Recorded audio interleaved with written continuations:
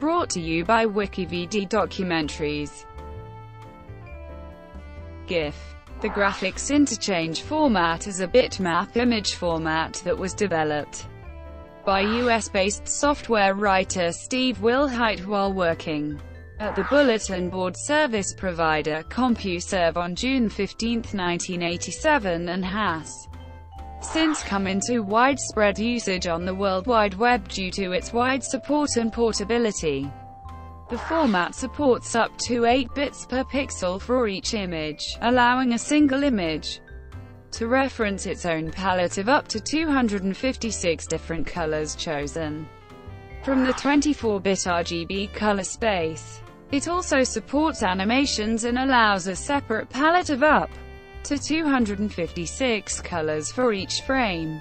These palette limitations make the GIF format less suitable for reproducing color photographs and other images with continuous color, but it is well suited for simpler images such as graphics or logos with solid areas of color.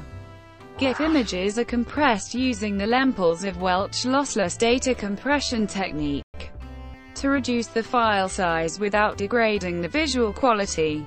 This compression technique was patented in 1985. Controversy over the licensing agreement between the software patent holder, Unisys, and CompuServe in 1994 spurred the development of the Portable Network Graphics Standard. By 2004 all the relevant patents had expired. History CompuServe introduced the GIF format on June 15, 1987 to provide a color image format for their file downloading areas, replacing their earlier run-length encoding format, which was black and white only. GIF became popular, because it used LZW data compression, which was more efficient than the run-length encoding that formats such as PCX and MacPaint used and fairly large images could therefore be downloaded in a reasonably short time, even with very slow modems. The original version of the GIF format was called 87A. In 1989, CompuServe released an enhanced version, called 89A, which added support for animation delays, transparent background colors, and storage of application-specific metadata. The 89A specification also supports incorporating text labels as text. But as there is little control over display fonts, this feature is not widely used. The two versions can be distinguished by looking at the first six bytes of the file, which, when interpreted as ASCII, read GIF87A and GIF89A, respectively. CompuServe encouraged the adoption of GIF by providing downloadable conversion utilities for many computers. By December 1987, for example, an Apple IIGS user could view pictures created on an Atari ST or Commodore 64. GIF was one of the first two image formats commonly used on websites, the other being the black and white XBM. In September 1995 Netscape Navigator 2.0 added the ability for animated GIFs to loop. The feature of storing multiple images in one file, accompanied by control data, is used extensively on the web to produce simple animations. The optional interlacing feature, which stores image scanlines out of order in such a fashion that even a partially downloaded image was somewhat recognizable, also helped GIF's popularity, as a user could abort the download if it was not what was required. In May 2015 Facebook added GIF support, even though they originally didn't support them on their site. Linguistic characteristics As a noun, the word GIF is found in the newer editions of many dictionaries. In 2012, the American wing of the Oxford University Press recognized GIF as a verb as well, meaning to create a GIF file, as in, GIFing was perfect medium for sharing scenes from the Summer Olympics. The press lexicographers voted it the word of the year. saying that GIFs have evolved into a tool with serious applications including research and journalism. Pronunciation of GIF The creators of the format pronounce the word as JIF with a soft G, as in, gin. Steve Wilhite says that the intended pronunciation deliberately echoes the American peanut butter brand JIF, and CompuServe employees would often say, choosy developers choose GIF, spoofing this brand's television commercials. The word is now also widely pronounced with a hard G, as in, gift.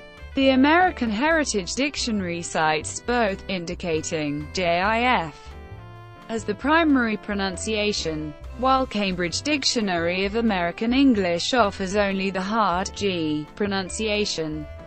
Merriam-Webster's Collegiate Dictionary and the OED cite both pronunciations, but place GIF in the default position. The New Oxford American Dictionary gave only JIF in its second edition, but updated it to JIF GIF in its third edition. The disagreement over the pronunciation led to heated internet debate.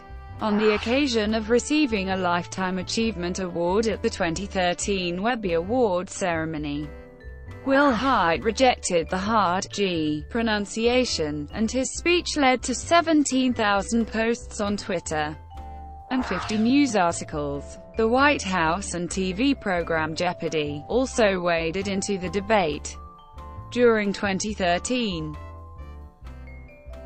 Palettes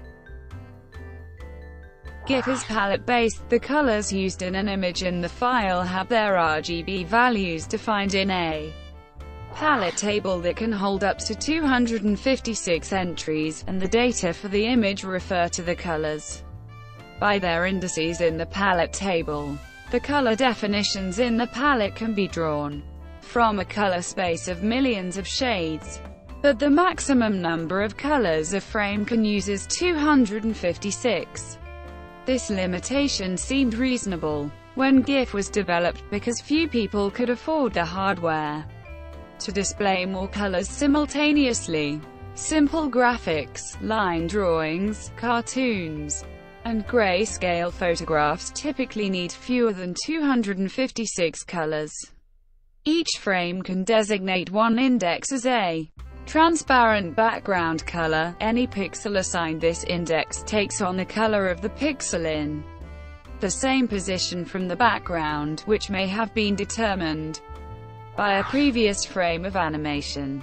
Many techniques, collectively called dithering, have been developed to approximate a wider range of colors with a small color palette by using pixels of two or more colors to approximate in-between colors.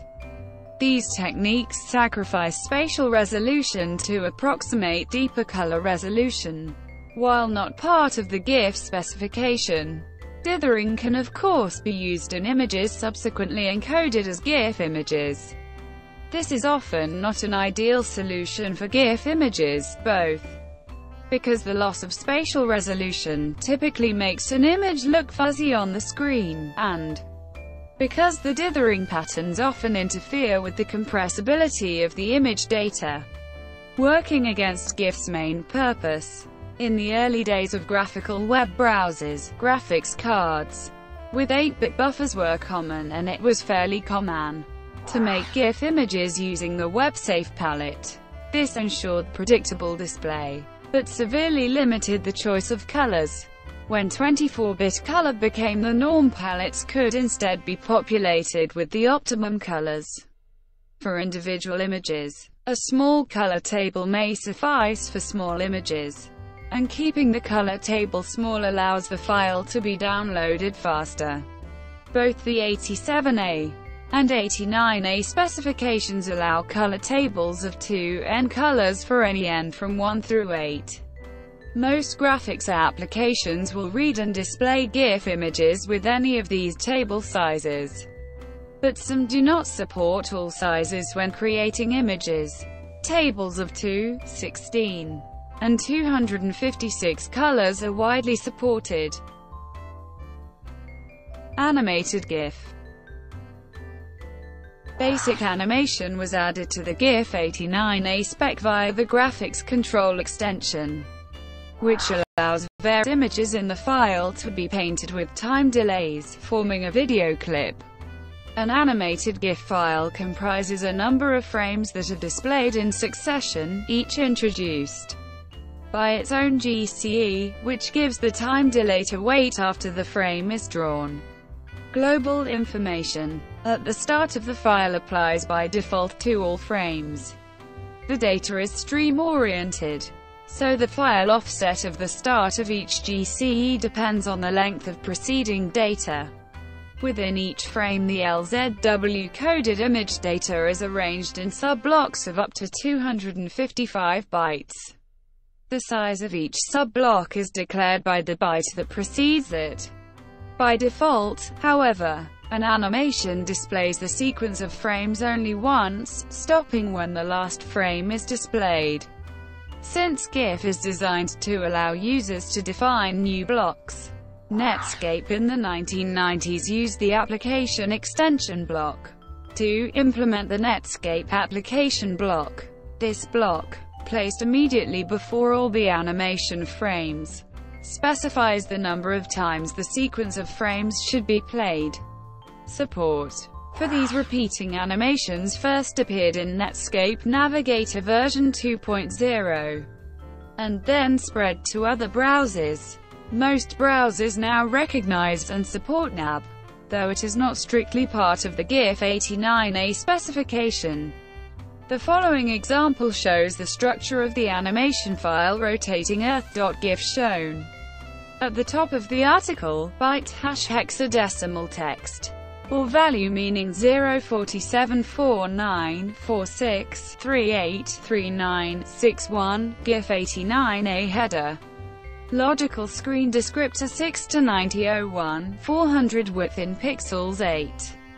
9001, 400 height in pixels A, F7 GCT follows. For 256 colors with resolution 3 by 8 bits, primary B, 000, background color C, 00. Default pixel aspect ratio D, global color table.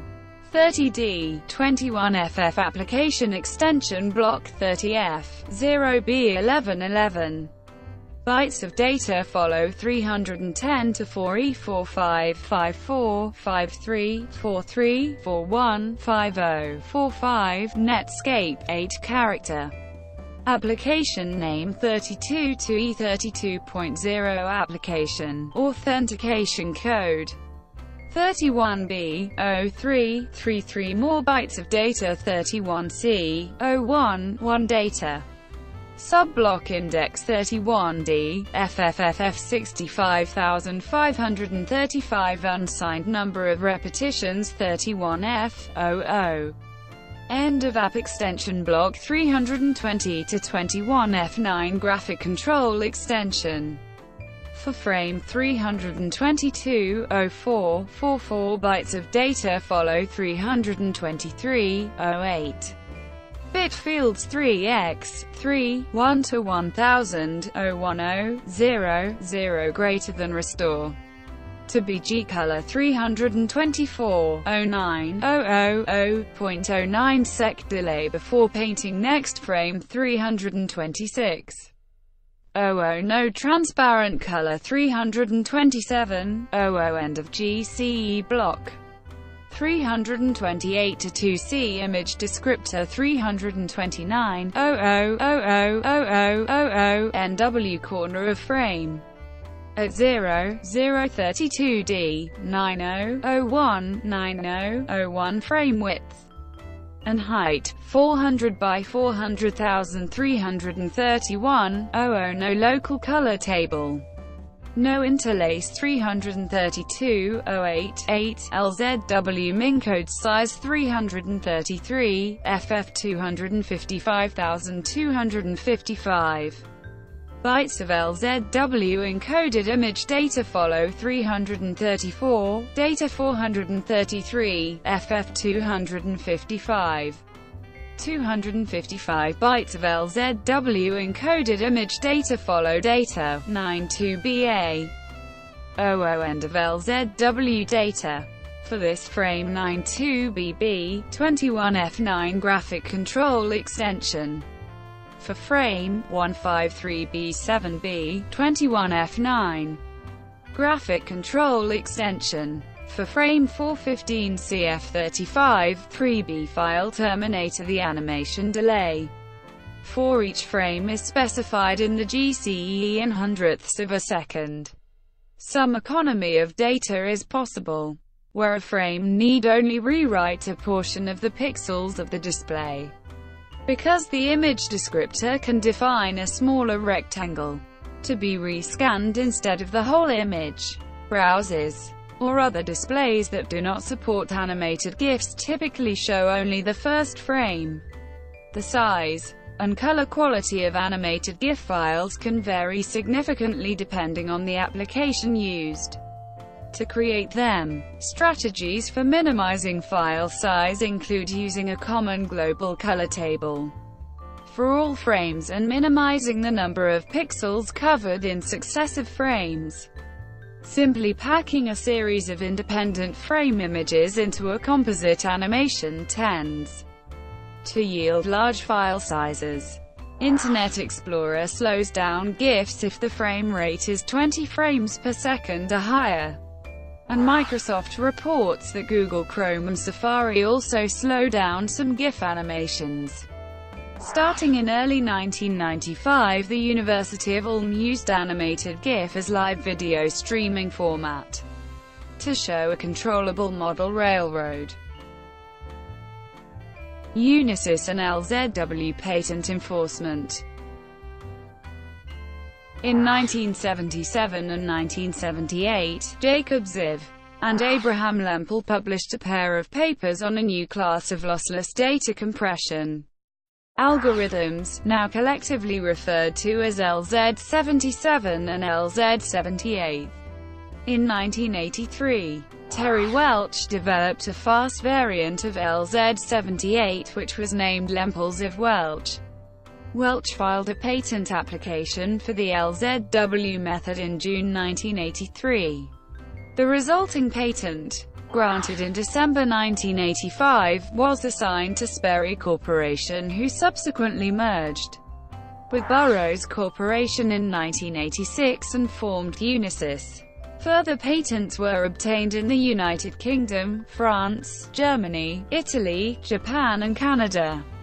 In June 1984, an article by Welch was published in the IEEE magazine which publicly described the LZW technique.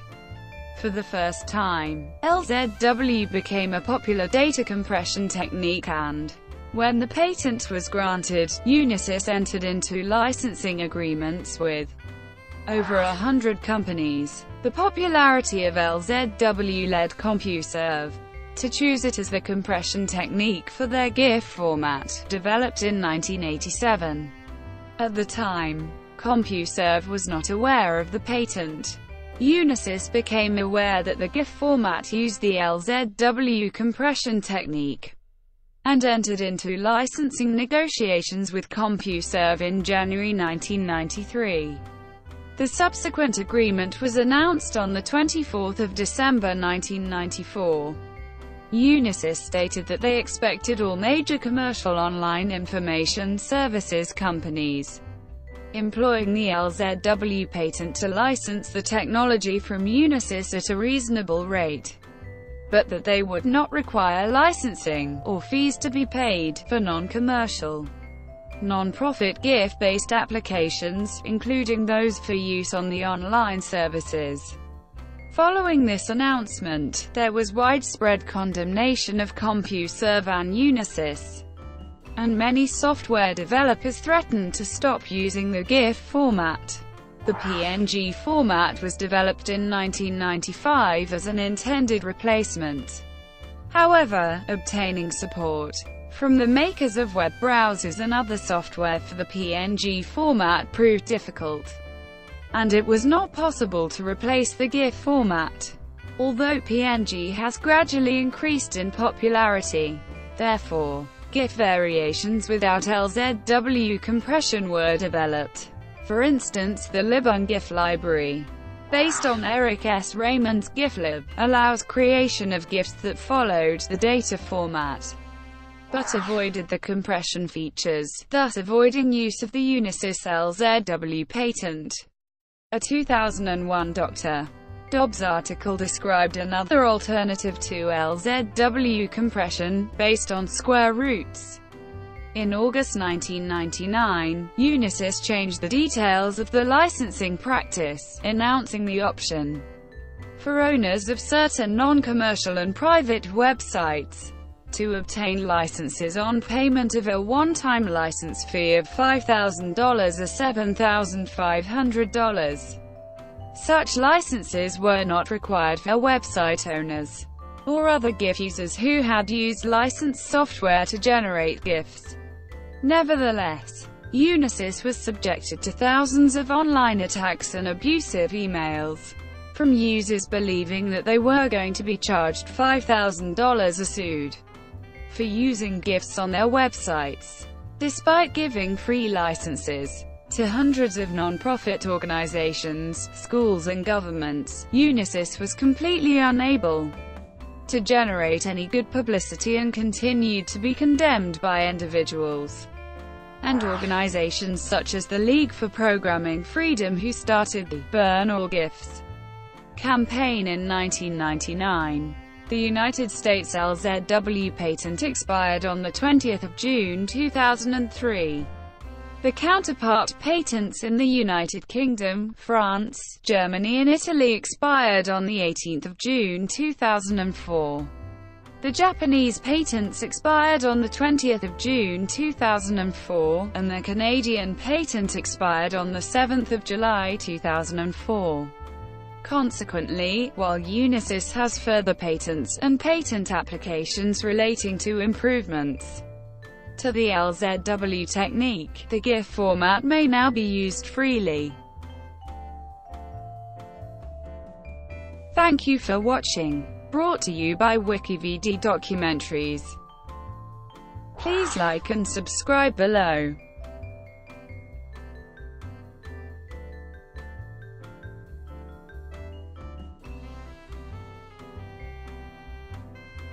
Please like and subscribe below.